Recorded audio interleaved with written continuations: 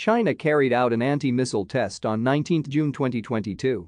Some residents captured the test, booster of the missile created glowing objects in the night sky.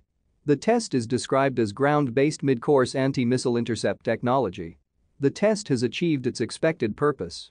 Some analysts believe that a DF-26 medium-range ballistic missile with advanced maneuverability was the target and a new anti-missile performed interception. China has tested missile interceptors before. The most recent test was in February 2021 and before that in 2018.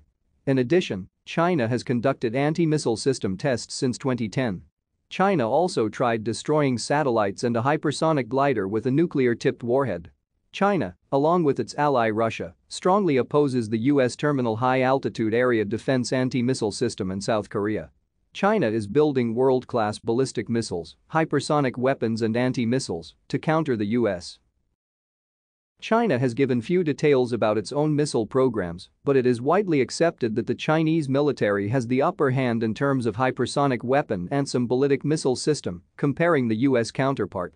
If the anti-missile in China also overtakes the US GMD or NMD interception system, then the US military might have a hard time pushing back the Chinese in the coming Taiwan conflict. In 2016, the Chinese Defense Ministry officially confirmed the anti-missile capability.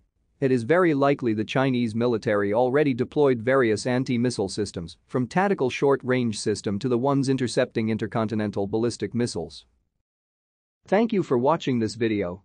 If you liked this video, please subscribe, share and comment. It will really help us developing this channel and bring you more videos about Chinese military news.